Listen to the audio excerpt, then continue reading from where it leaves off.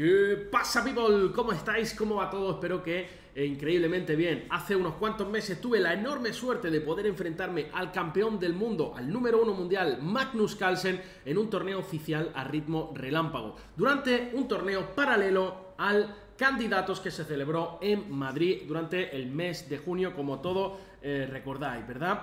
Entonces las primeras jugadas de esta partida las voy a pasar en el tablero, ¿vale? Porque eh, no tenemos la imagen y a partir de la jugada 8-9 entonces ya tenemos la imagen en vídeo, entonces vamos a ir comentando sobre la partida.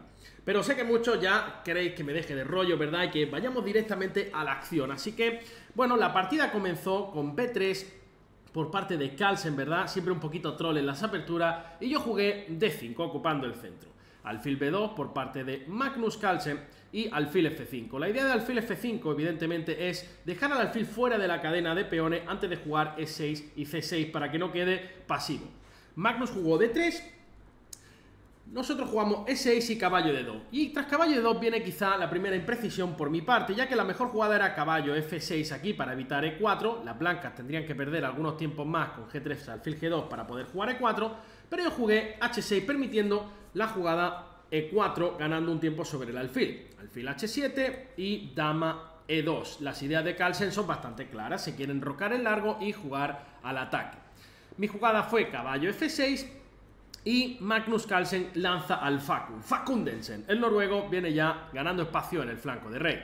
Yo hice lo propio en el flanco de dama con la jugada C5 y tras caballo F3, caballo C6, ahora ya sí vamos a tener las imágenes de la partida. Y quiero eh, comenzar diciendo que Magnus jugó G3 con idea de desarrollar el alfil a G2, lo cual es una imprecisión bastante grave y en estos momentos la negra, o yo, disponíamos de una jugada que era, eh, bueno, pues muy, muy, muy, muy fuerte y que daba a la negra mucha ventaja. Y era la jugada caballo B4.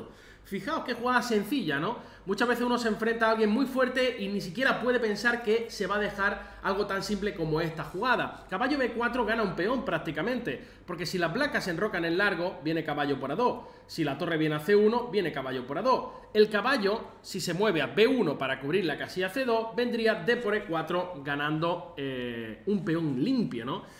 Y entonces vamos a ver qué sucedió en la partida. Yo, por supuesto, no jugué caballo B4 tras G3 y, eh, sin embargo, tras G3, pues jugué D4. Una jugada ya que es una pequeña imprecisión, ¿verdad? Relajando la tensión central, ¿vale? Yo quería limitar el alfil de B2 a toda costa, pero claramente no era la mejor jugada por la existencia de ese caballo B4.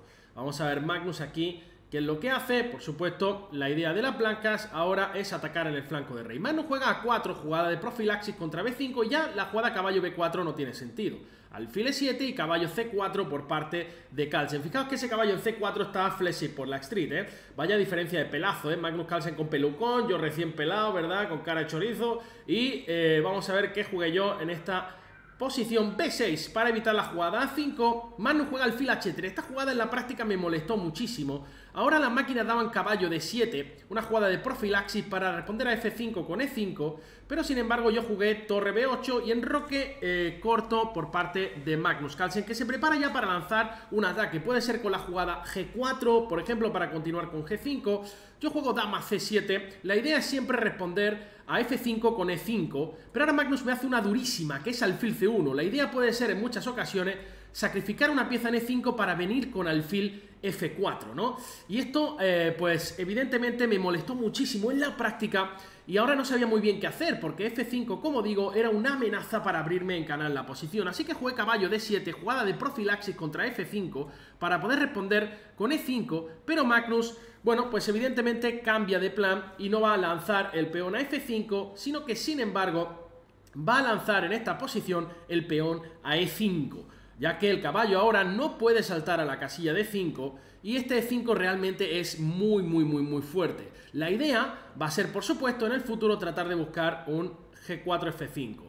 Torre B8 y F5. Se tira directamente Magnus Carlsen al ataque. Esta jugada, por supuesto, la omití por completo. Recuerden que es una partida ritmo blitz y la idea es que siempre que comamos de peón D, pues Magnus Carlsen va a abrir la posición con el peón a E6. Aprovechando que mi rey todavía no se ha enrocado, ¿verdad? Y que cuando, bueno, pues la dama quede en esa columna abierta me va a molestar muchísimo, ¿no? Y aquí sí que ya estaba en grave problema. No es fácil jugar contra el campeón del mundo, ya me estoy quedando con un minuto de menos en el reloj, decido comer o no, vamos a ver, estoy dudando ahí. Como digo, la idea de Carlsen evidentemente es comer en E6 si no hacemos nada, ¿verdad? Porque el peón está tocado, la jugada caballo F8 aquí es demasiado triste para sostener todo, es demasiado pasiva, así que prácticamente no me queda más opción que eh, tener que capturar ese peón en F5. El alfil está llegando a F4 también, ¿no? Mirando con rayos X a la dama y nuestro rey sigue en el centro. Bueno, pues juego caballo de 8, jugada triste, ¿no? Lo siguiente, ¿no? Jugada mega pasiva defendiendo el peón de E6, pero no quería que me abrieran en canal con esa jugada E6. Veo, tengo cara ya de pocos amigos y ¡bopa! Ahí viene el bopazo de Magnus Carlsen. Caballo de 6. Se me queda la típica sonrisilla de te estar reventando el campeón del mundo. Eres más malo que mandar a la abuela por droga, Pepón. Ahora sí, alfil por D6, peón por D6, dama por D6. Fijaos que la potencia en la columna E, además de los posibles temas tácticos con el alfil en F4 sobre la dama y torre de B8, hacen de mi posición una absoluta ruina. Además que me quedan 30 segundos en el reloj, 1.55 para el campeón del mundo Magnus Almendrado Carlsen, aerolíneas vikingas, siempre a domicilio tratando de repartir la cremita y bueno, pues tengo que comer en D6, dama por D6 y ahora mi idea contra el fil F4 pues eh, no, hay no hay mucha idea. Peón por E6, Magnus Carlsen eh, realiza esta jugada intermedia que toca eh, la pieza de D7, ¿verdad? Y tarde o temprano va a venir ese alfil F4 que va a ganar una calidad completa. Caballo por E6, alfil F4, aprovechando la clavada, no puedo comer, me tengo que retirar con la dama y va a venir alfil por B8, es una calidad de menos y además, eh, como vais a ver, pues las blancas van a tener mucha presión en la columna E, también el punto F7 va a ser vulnerable como todos ustedes van a poder ver y eh, bueno, pues simplemente es cuestión de técnica que no le falta precisamente al campeón del mundo, que está ahí más tranquilo, ¿no? Que está ahí como si estuviera fumándose un cigarro, tomándose una tapita de jamón, ¿no? Dice, me está tocando este paquete, este gran maestrillo español que se lo regalaron, en la tómbola el título en la feria del barrio de La Chana en Granada y eh, caballo de 5 por parte de Magnus. Fijaos qué maldad tiene el campeón del mundo. Es que ni siquiera me deja consolidarme un poquito. No me deja ni que me enroque ni que traiga el caballo. El tema es que viene un caballo por F7 brutal. Me tengo que enrocar con escasos segundos en el reloj. Y caballo por F7 realmente es un bombazo. No puedo comer por alfil por E6. Así que hago caballo C7. Y bueno, esto como digo es coser y cantar para el campeón del mundo. Ahora, eso sí, yo eh, tenía la esperanza de que se le quedara atrapado ese caballo. Magnus Carlsen come en H6, da la pieza, pero sin embargo, fijaos que mi rey va a quedar en pelotas. El mismísimo Tarzán. Eh, torre F8, rey G8 y ahora la dama va a entrar con gran dolor para ganar la partida. Bueno, pues eh, como podéis ver, un nivel muy superior eh, el de Magnus Carlsen al mío, la verdad que me supera, eh, bueno, desde prácticamente el inicio de la partida. Una pena no haberme dado cuenta de ese caballo B4 eh, donde quizá pues hubiera logrado incluso poner algún aprieto al campeón del mundo. Pero lo que pasa es que psicológicamente uno cuando se está enfrentando a alguien tan superior a veces no piensa que se pueda dejar algo tan simple, ¿no? Porque eh, si os pongo la posición a todos vosotros, pues muchos diréis, Pepe, caballo B4 es muy sencillo, ¿no? Pero ni siquiera se te pasan por la cabeza esas opciones eh, cuando estás jugando contra alguien tan fuerte. Eh, perdonadme que no es mi nuevo croma, es una cama que, se tienen que llevar, ¿vale?